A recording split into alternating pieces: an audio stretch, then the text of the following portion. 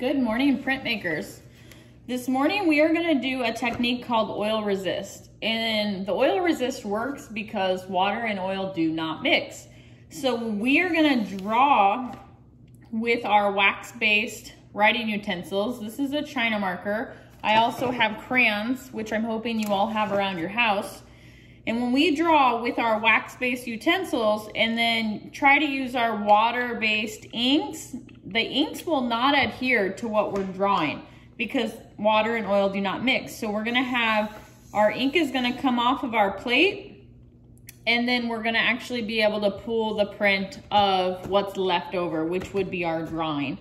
So I'm gonna show you um, you can use for this, you can use anything. I'm using a piece of paper. This is from my watercolor pad because it's a thick piece of paper. You can also use the front. You can use a piece of cardboard. You can use mat board. I just would not recommend using a regular piece of computer paper. It's not going to work. You just want something that has some weight to it and you're gonna draw on it. So the good thing, the cool thing about this technique, I think, is that most printmaking techniques, you actually have to do everything backwards because everything is a mirrored image. But with this technique, everything is exactly how you're drawing it. That's how it is. So if you want to add text, add text. It will be exactly how you're doing it. So your project is to do something of the future, an idea of the future, a snapshot of the future. I'm gonna draw some alien spaceships, I think. I'm a really bad drawer, so if you're also a really bad drawer, that's okay. You can, you can print things off the internet, you can create something in Illustrator or Photoshop, and then you can trace it. But I want it to be your own artwork. I want it to be your own idea. So I don't want you to just pull an image offline. I don't want you to recreate an image that you've seen in a video game or on a TV show. I want this to be your own idea. So this actually looks like eyes to me. So my spaceship, that was my spaceship. But this actually looks more like monster eyes with eyelashes. See, if you thought I was kidding about being a bad drawer, I'm not. And this is gonna be my fake alien head. See, this is, this is how bad I'm talking. So yours is going to be a lot better than this. Clearly. And you're gonna need five. So you're ultimately going to have five of these that you make. And then when you do this, you're gonna need your images cannot be bigger than your gel plate. So if you have a small gel plate, your image is gonna have to be smaller than your gel plate because you're gonna need your gel plate for this. So I'm gonna say that this is done. This is my image one of my series of five, which yours are all gonna be dramatically better than this. Oh, you know what? Let me try the crayons. As you do this, you're gonna wanna test out whatever supplies you have, test it out. This just broke. Crayons are so cheap. So you might not know, like the China marker might work and some of the crayons might work and some other crayons might not work. Like I have 10 different brands of crayons in here and some might be really good and some might not. So I'm gonna just, this is kind of, I'm gonna use this as really like a, a test on what does work and what I don't think works. Okay, and this is super easy. It's so simple. So if you, if I was doing my first one as a test, I might just do a whole row of my crayons and a whole row of all the markers that I have to see if it works. So I'm gonna try this out. Hopefully we see that some of these work. So what we're gonna do is we are going to now color the gel. So for your first layer, the thicker paint is best. So I thought that I had some on here. Clearly I do not have enough on there. So I recommend using the Speedball paint. This is the thick one and sometimes it's frustrating to use because it's so thick, but for this you really need a thicker paint. This is one of those times that this really does make a difference. And see, you can, obviously you can mix colors. If I wanted to, I could do more colors and make it a rainbow.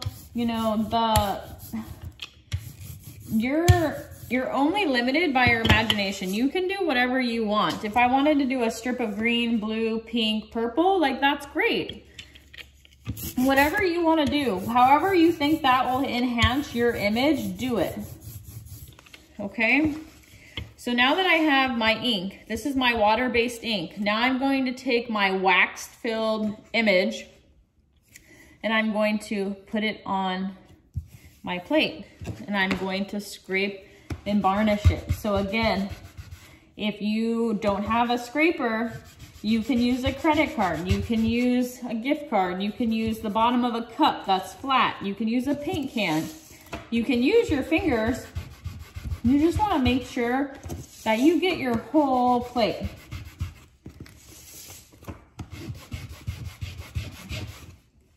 Okay, so now I'm gonna pick this up. So this clearly has paint on it. I'm gonna set that off to the side and you can see my image. Okay, so on all the, most paper, maybe if you just get smooth paper, it's not, but on all paper, you have a textured side. Hopefully you can see that. And then you have a smooth side. So when I put my image, I drew on the textured side on purpose because I wanted to see some texture, which you can see. You can see my paper texture in there and I like that. If you don't like that, then use your smooth side when you're doing it.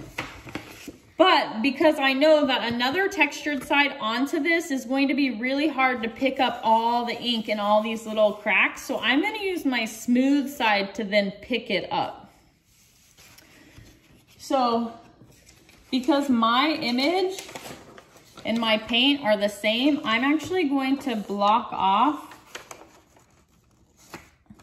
I'm gonna block off some of this with cheap computer paper that way I get some sort of border on my, you know what, I'm just gonna do it like that so we can see what worked and what didn't work. But if this was going to be my final print, I would mask off even these sides. That way I have an edge around my paper. But this isn't going to be my final, so it doesn't really matter. So now I'm going to burnish. Where is my scraper?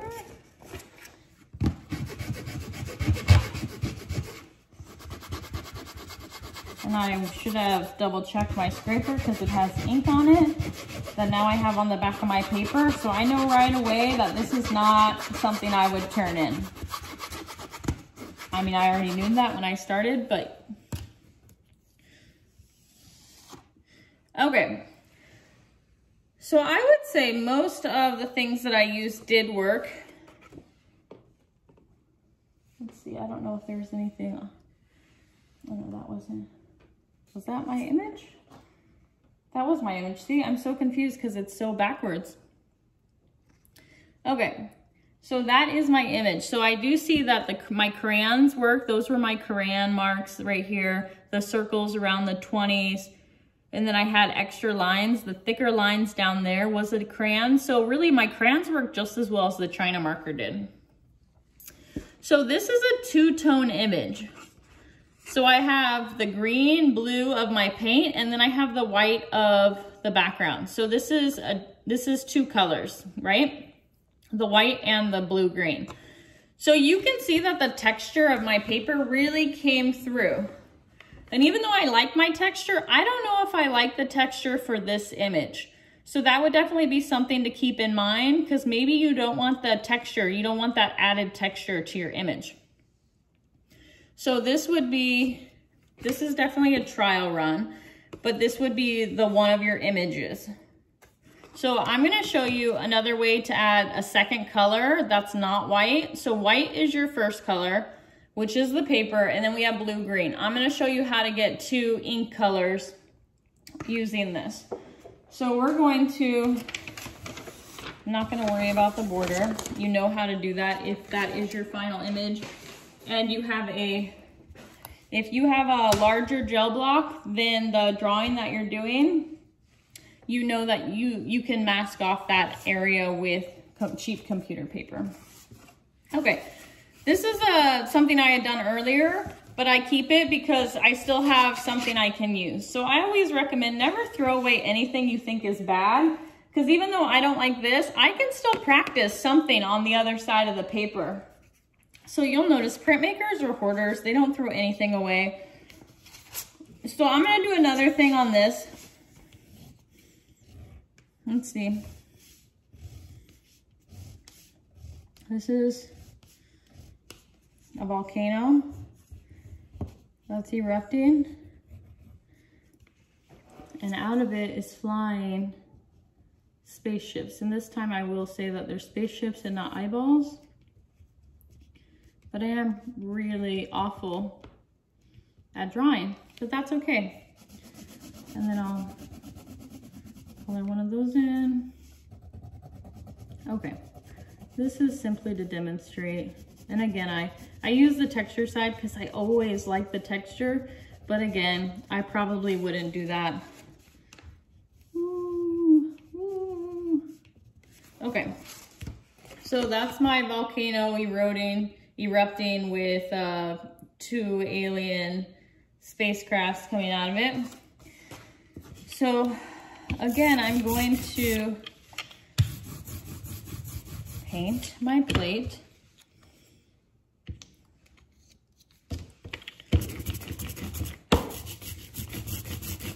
And I actually really like the, the idea of several colors. I mean, again, do whatever makes you happy. This is some blue and red. Okay, so think about what your image is. So I have a volcano. So I'm gonna just turn this around because this is gonna be erupting in the sky. So that kind of makes sense, right? You wanna think about the color usage that you have with your image. So I'm gonna now place this down. I'm going to use my scraper.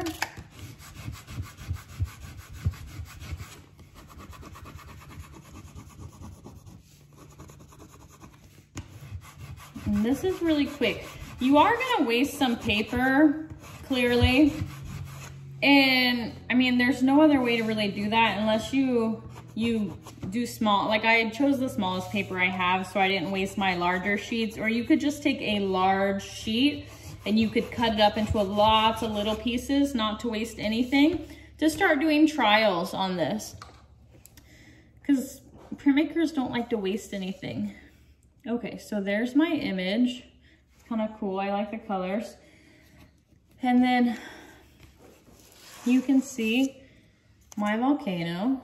So what I'm gonna do now is I'm actually gonna try to get this to dry off just a little bit because now we're gonna try to add another color onto here to get another layer of color.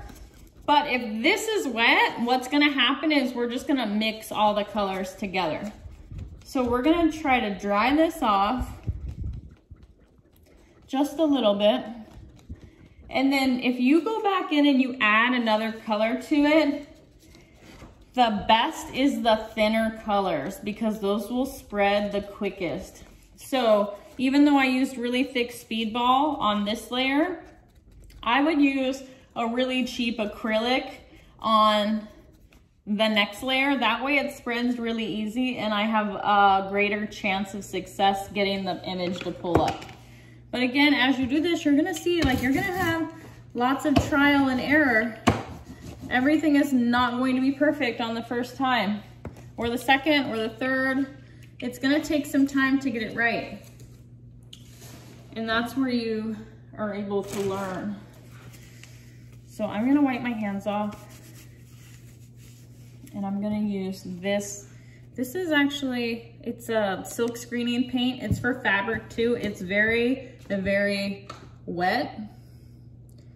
It's very liquidy. It's not thick, it's thin. So I think this hopefully will be a good one, but I don't know. I've never tried this, so this could be a fail. I'm hoping for the best. Okay, so I have, I have it on my brayer. I'm trying to get it a little bit more even before I roll it. Okay, I have it on my brayer and now I'm going to roll.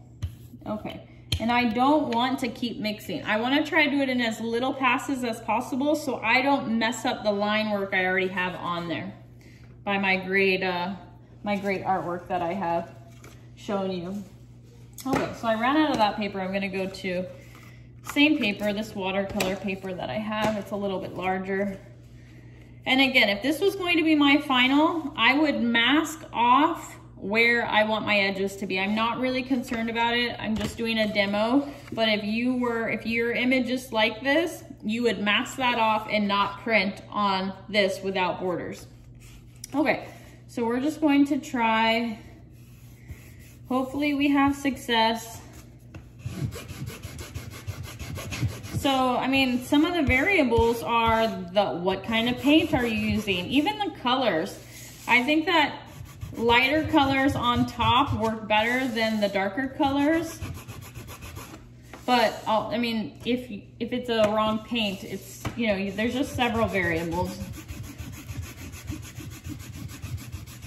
Maybe I didn't scrape hard enough. Maybe I scraped too hard.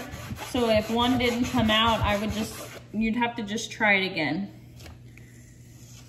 Okay, so this is my volcano.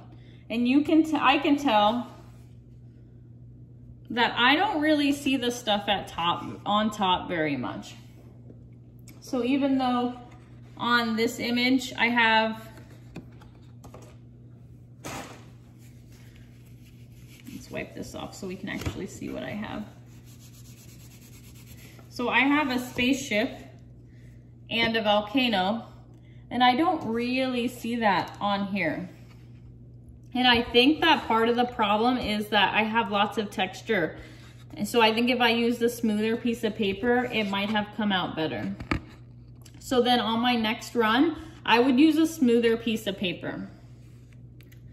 Because you do you do see some, but now I'm wiping it so you're not gonna see any of it. Okay, so that is, this would be adding another layer of color and you can see down here, you still see the volcano, you still see the lines. This I think was just too dark and too thick for the line work that I had on the original. But that would just be another thing to play with. So we're gonna try one more to see if we can get success on a dark color. And then I'm just gonna take my a wet wipe and wipe this off. And another variable is time, how much time you let this sit. Maybe I didn't let it dry enough so it blended more together.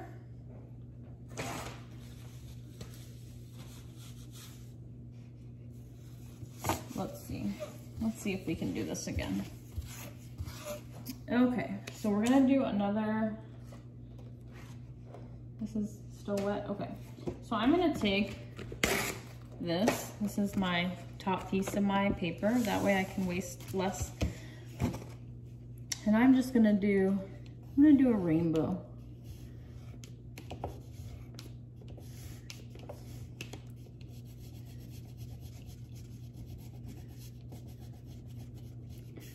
And you can see that this is just like a quick, because I just wanna see if this technique is going to work. Just like when you all are doing your images, don't waste time on a perfect thing before you try out and see what is going to, what your, what your image, what your mediums that you have, what your supplies are, what's gonna work, what's not gonna work. Okay, very quick, quick and rough. So now I'm gonna try this again.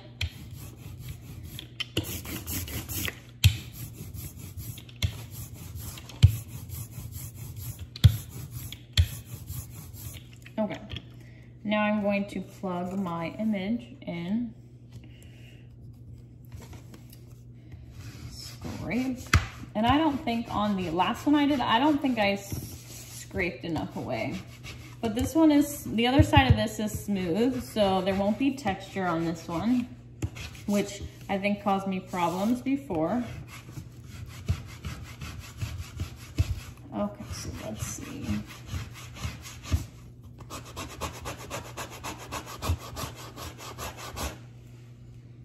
Alrighty. Okay, so on this, you can see my rainbow is there. Should have probably rubbed more right here and right here because I still see a clump of paint. So that's something, you know, take your time when you're doing this. I'm obviously doing this really quickly. So now I'm gonna do, I'm actually gonna try to get this to dry a little bit.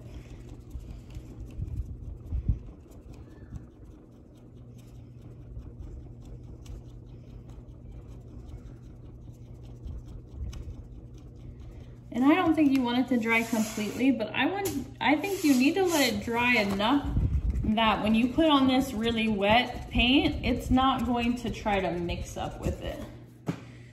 Okay. So wish us luck on this one. Okay.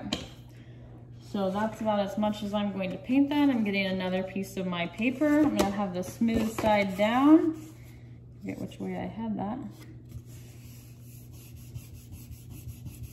And then I'm going to try to get my image to come out. So sometimes a clean brayer works.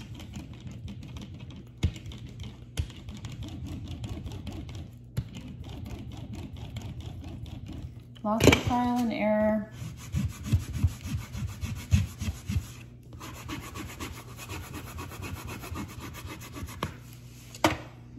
We're gonna see.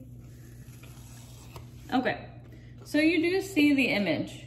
I don't think the colors are very great, but you do see that. So now we have oil, we have the underlay, which was green and red, and then you have the gold on top. So these were the spots that I said I should have rubbed more because that should have been paint that came out of there. So with the this is adding two ink colors on, and you can see that that one is a lot more challenging than just having one. So this one came off right away. We didn't have problems with this one. This one, you gotta have a little, a little patience with this one. You don't have to do the two different ink colors. You're just required to have one ink color but each of your five images can all be different colors ink. So you can play around with it, see what you wanna do, and that is your oil relief project.